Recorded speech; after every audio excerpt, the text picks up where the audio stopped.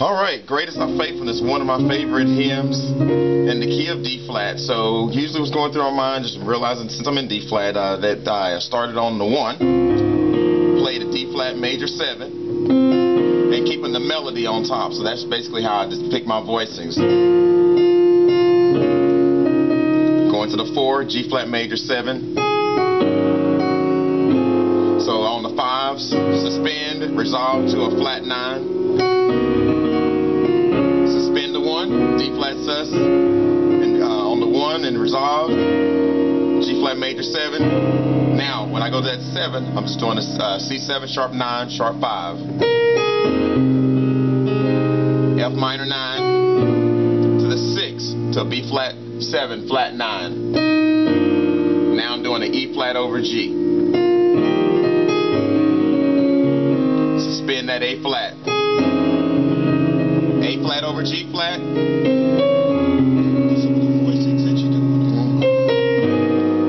Basically uh, uh, A flat minor, D flat major seven, G flat major seven again. So,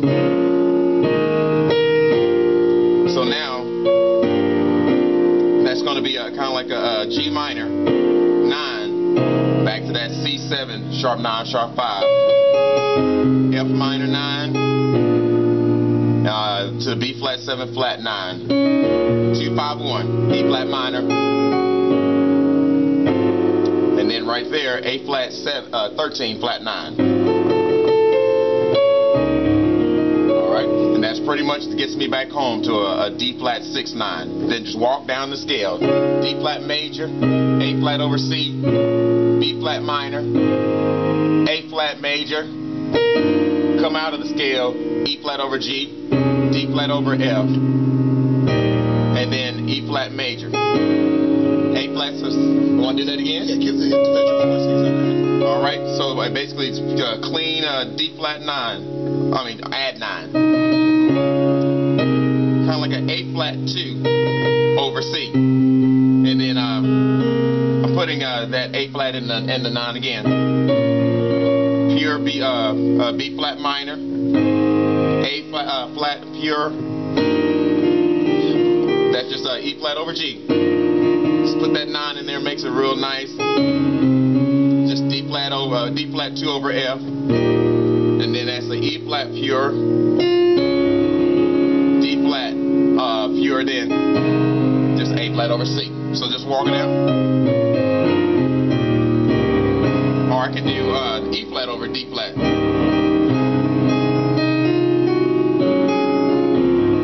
All right, so back home, B uh, B13 sharp 11. B flat suspended, resolved to a flat nine. On the two, now watch this little thing right. That last little change Alright, so I'm doing a B flat suspended. Now, the, what's cool about my, uh, what I like about the uh, suspended chord here is that I do uh, in my right hand an E flat over B flat.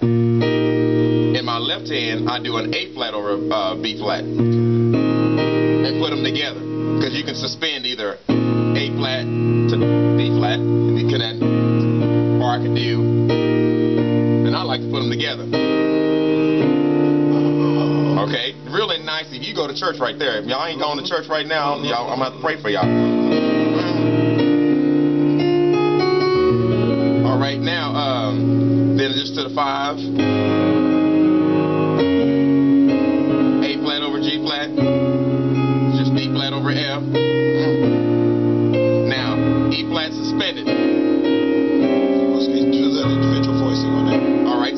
Type of technique here on the E flat. Go up to the four and play an A flat in the right hand. Left hand, play a D flat. Playing a D flat second inversion.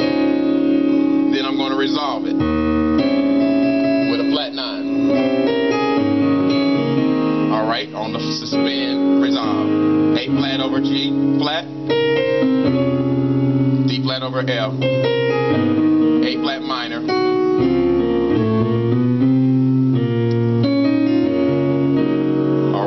So that's basically like G flat major when I do that G flat six. And I love this sound. I can either do on that three uh, or a raised four. I can do a G G diminished or G minor nine.